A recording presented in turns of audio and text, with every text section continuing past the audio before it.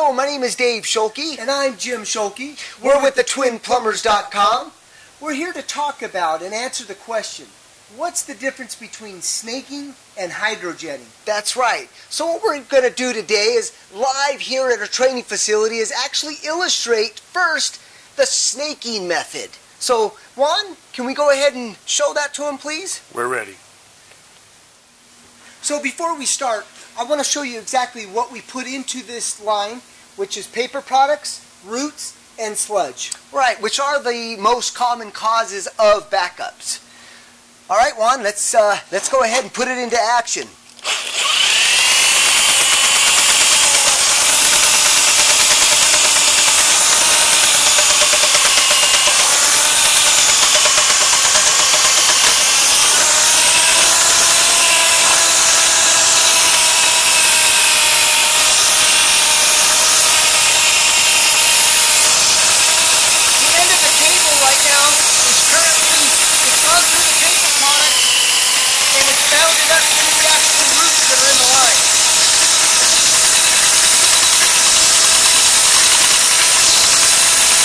Really cool is that cable slamming, breaking up that paper product in there.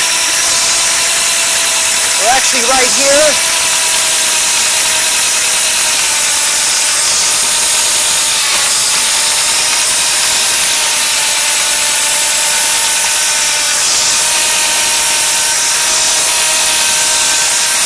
Now the cable's headed right to the sludge.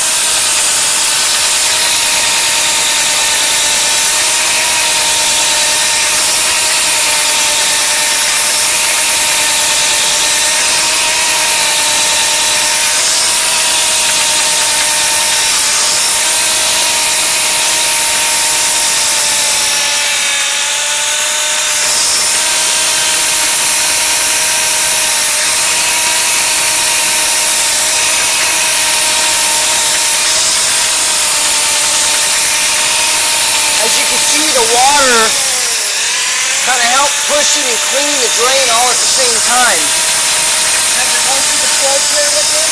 Yeah, it's pretty tough, but it's, uh, it's actually binding on the roots.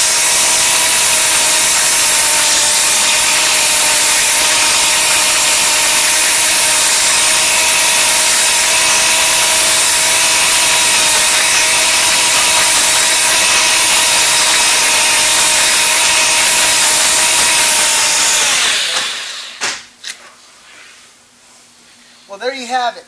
So now what happened is this, the actual stoppages, which is the roots and the sludge, have hit a fitting.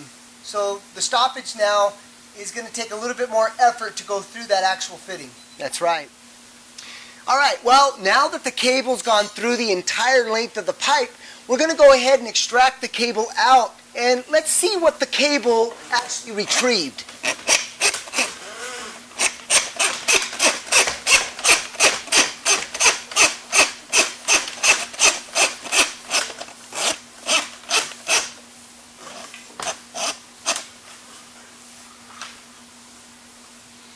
Well, there you have it. It actually pulled out more of the paper product than anything else.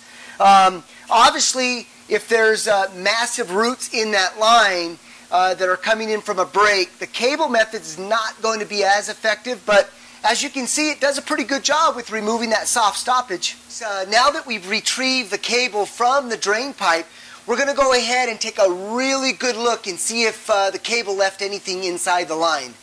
Let's go ahead and look at that, Jim.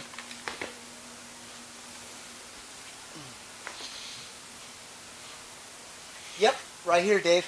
Yeah, as you can see right here, in fact, let me get a light.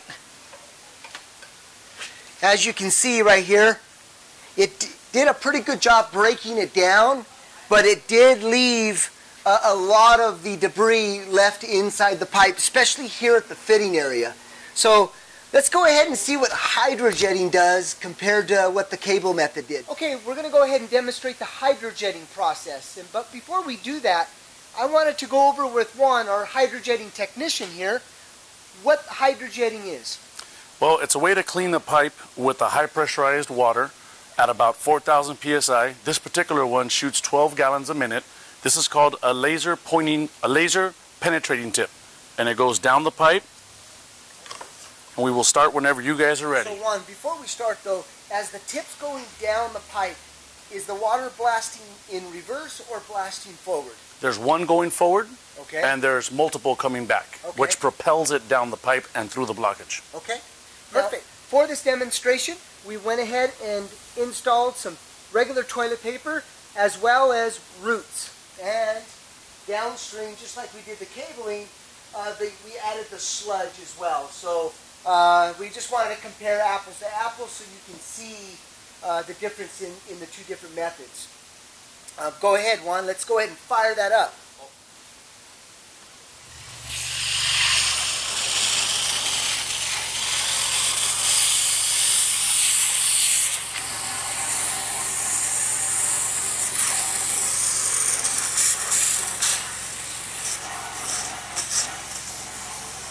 Wow.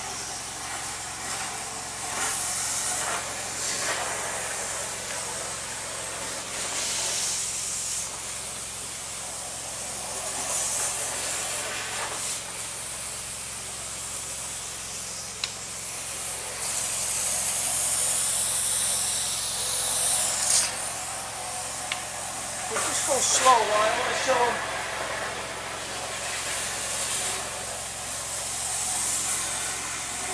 So the stoppage is completely cleared now.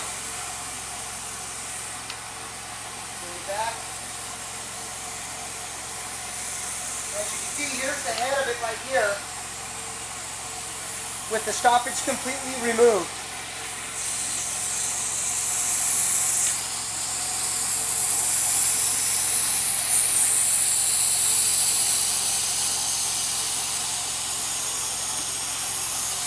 Okay, I think you got it, Warren.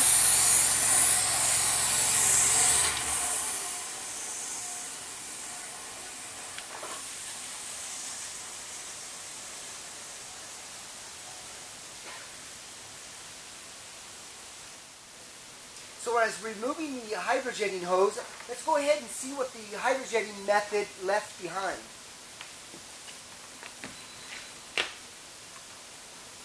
Spotless. Yeah, spotless.